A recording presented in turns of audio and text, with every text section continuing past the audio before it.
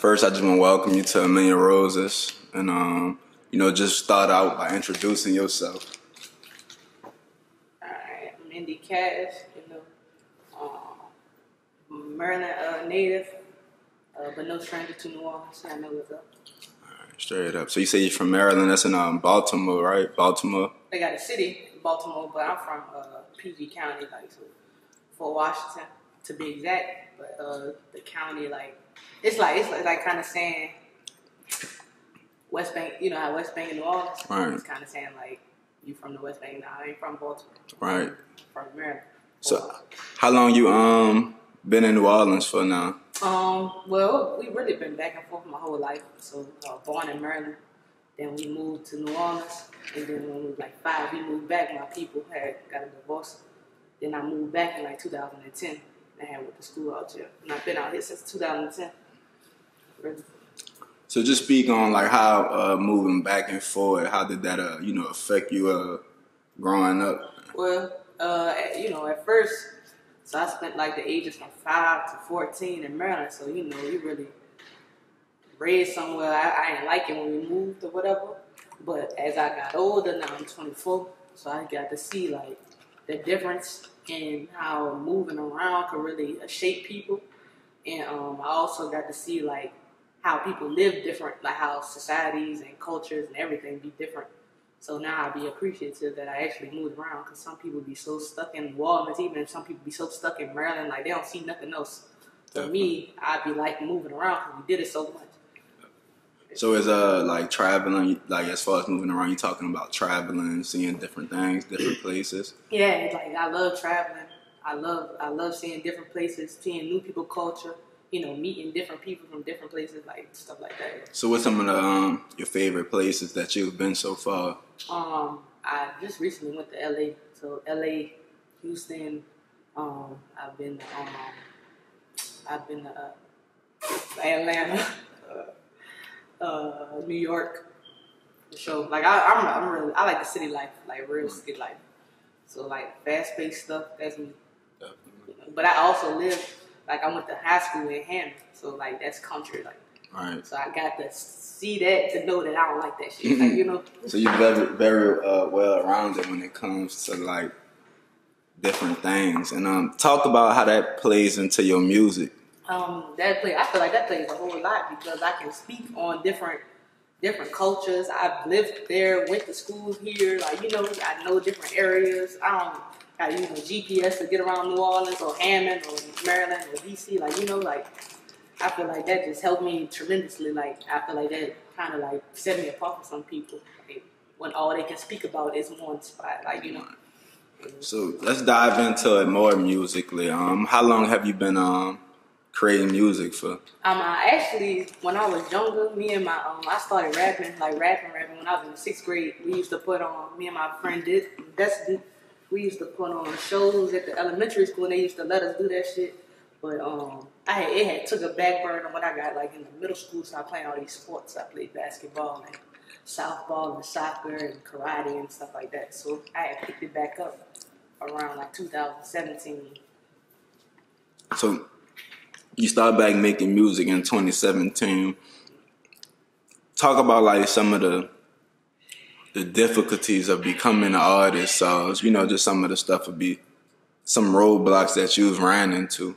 Um, so some of the roadblocks is like people like not being who they say they are, or like you know like scammers, or like not just knowing enough about the music industry. So I um I tried to like educate myself, like so I'd be writing music and making songs, but I really wouldn't be putting it out. I would really be like at home on YouTube watching like about royalties or about like BMIs or like you know really learning stuff about the music industry. So um, I feel like that shit, that shit, that shit, that's a whole nother conversation. Right. I feel like I um, like our younger artists, I be speaking on like my partners in New Orleans, younger and older and older. They don't spend enough time trying to learn that stuff because you would be hot blowing the dead tomorrow, they get stuck in like a whack ass deal or whatever, and you don't even know what the fuck you got yourself into. Right. Yeah. So um just dive more into the, the artistry of behind your music. Um, who are some artists that you influenced by? Uh, Um, I'm influenced by like Wale, Lil Wayne, um, J. Cole. I like um I really I really listen to a vast like a wide range of music from gospel to pop to R and B to hip hop to neo soul. Like I like all like I really like music. Like be listening to the cadence and melodies and how they arrange words together. Like so I don't know. I gotta I got I say I have a whole bunch of different influences when it comes to that. Like my mom used to have us listening to Brian McKnight and Marvin Gaye stuff like that. She's like in that older generation. Definitely. Yeah. So, do you have any um, official projects out? No, I don't have any projects. I, uh, my brother said it's time to work on a mixtape, but I just been throwing out singles and just shooting videos nonstop. So, what's something that you, um, if somebody, for somebody that's just getting on to you or don't really know about you, what song would you say that they need to go listen to from you? Um, it'd probably be um, Hello. Yeah, my Hello song. I just I just dropped that video like a month ago, something like that. Probably be Hello. It it really depends because I'm so versatile. It just how you feeling. Like you want to hear some conscious, you want to hear something that could be on the radio. Like you want to hear me rap some bars or something like you know. It's so versatile. But I say Hello. Definitely, definitely. And say, for instance, if uh, like your rap career starts to catch fire, do you have any artists that you uh, that you would like to work with?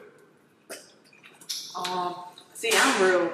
I'm, I like putting people on, like, like you know, like local stuff. I listen to buku local stuff, so like all the New Orleans artists, like I definitely like to work with all of them, everything. Like even like my cousins and stuff that rap in Maryland and stuff. I like to work with all them.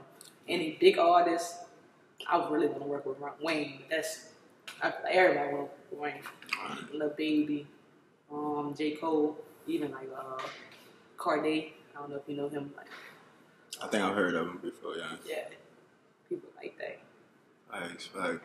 And um, just go talk about your, your process of making music. What's your, your creative process of uh, creating your music? Um, so I like to start. I could really, I could write without the um, without a beat, but usually it'd be a beat I hear, and then a melody. I, like within like five minutes, I probably have like a, a chorus, a melody.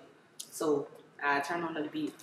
I had a melody, and then I put the words in there with the melody, and then either I keep the words, the original words, if they make sense to me, or if, I, sometimes I change them up depending on how the verse come out. But like yeah, that's usually how I go. So do you write? Uh, Yeah, I write. I write. Yeah, I ain't. I don't know how these niggas be like talking about they be. They don't be writing. I write. All right. You know, I feel like I feel like even though it do have you overthinking a lot when you write, but I feel like you be it's like more expressive. Like you feel me?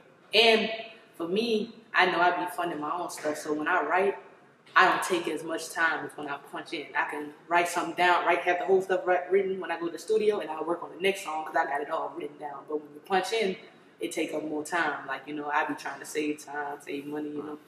So what's some um, what's some stuff that you do outside of music that you have going on? Um, well, I work, so uh, I drive a school bus, and um, I work at a shoe store.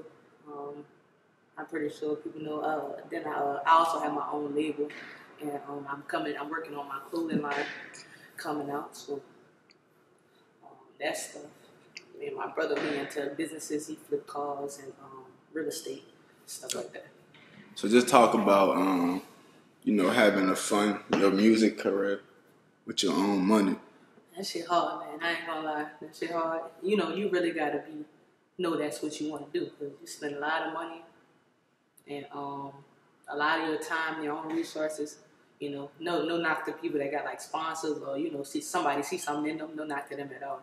But yeah, that shit really like you really gotta know you want to do that when you funding it. That's your independent shit. Ooh, that shit is struggle. No, no doubt. What's some um, advice that you could give to like an artist that that's up and coming? Right. Um, don't quit. Um, learn as much about this industry because it's a dirty industry as you can. Like, ins and out of it. Learn as much and then really perfect your craft. Perfect your craft so you don't spend you don't spend years wasted or time wasted. Like you know, we all trying to blow up. So really perfect your craft or like you know just work on that song. Because nowadays, if you know anything about the industry, nowadays it's one song you might be out here. Like you know, it Yeah. No doubt, no doubt. What um, what's something that we could expect from you coming in the future? Um, definitely trying to uh do more features with like not not wait till I blow up, but do more features with local people. Like you know before even before they get a little buzz or whatever. Like that uh, project for sure. Um, like I say, my clothing, my clothes dropping. You know, just they should expect to see me. You know, everywhere in your face. You feel me? No doubt.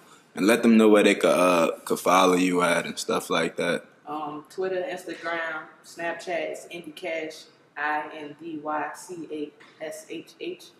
Um, that's that on everything. Oh, YouTube, Indy Cash, um, I N D Y C A S H. No doubt. And do you have anything else that you would like to add? Stay positive, stay out the way, man. Make that money. Chase your dream for sure. Straight up, man. I appreciate you for, you know, allowing us to do this interview with you. I hope you uh doing big things in the future and just keep doing what you're doing. You seem like you're very dedicated to it, for sure, for sure. I appreciate y'all for the opportunity, for real. Nah, it's all love. That should be